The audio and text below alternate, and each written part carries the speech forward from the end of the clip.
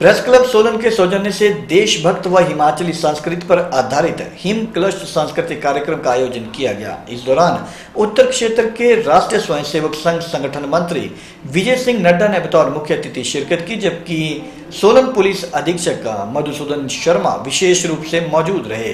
कार्यक्रम का शुभारंभ गणमान्य अतिथियों द्वारा दीप प्रज्वलित करके किया गया, जिसके बाद वंदे मातरम व शिव कलशों की वापसी भजन के साथ कार्यक्रम को शुभारंभ किया गया। कलश कार्यक्रम में सोलन जिला के विभिन्न स्कूलों व निजी स्कूलों के लगभग 200 बच्चों ने भाग लिया।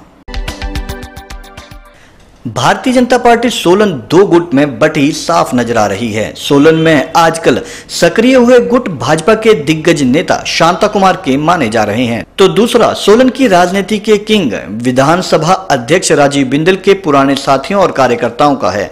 बेशक राजीव बिंदल सोलन से सिरमौर चले गए हैं, लेकिन कार्यकर्ताओं में उनकी पकड़ आज भी उतनी ही मज़बूत मानी जाती है। लेकिन कुछ महीने से शांता कुमार गुट इस पकड़ में सेंध लगाने का पुरजोर कोशिश कर रही है। और विभिन्न कार्यक्रमों के माध्यम से अपनी उपस्थिति ज़्यादा दिखाकर अपने वर्चस्व को स्थापित करने में जुटी हुई है। इस गुट में जब से पूर्व मंत्री महेंद्र सिंह सोफत की एंट्री हुई है, तब से शांता गुट की सक्रियता सोलन में ज़्यादा बढ़ गई है। आज भी भाजपा द्वारा प्रेस वार्ता का आयोजन किया गया, जिसमें यही गुट हावी नज़र आया, जिसमें बढ़ती जनसंख्या और घटते संसाधनों पर आयोजित होने वाले कार्यक्रम के बारे में विस्तार से बताया गया।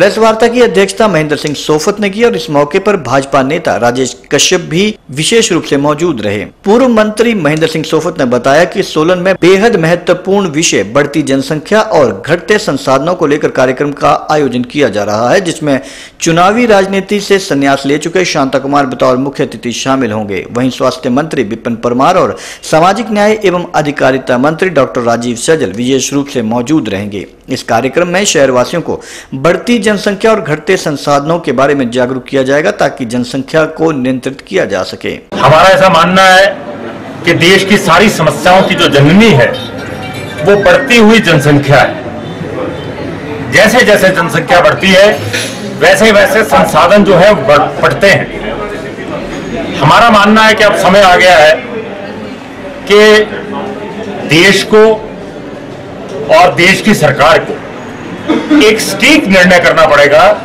कि किस प्रकार से हमें जनसंख्या को नियंत्रित करना है। भले इसके लिए कानून बनाना हो, भले समाज को जागृत करना हो, भले जनसंख्या बढ़ाने वालों को निरुत्साहित करना हो, और भले इस कार्यक्रम को सफल बनाने के लिए सहयोग करने वालों को प्रोत्साहित करना हो।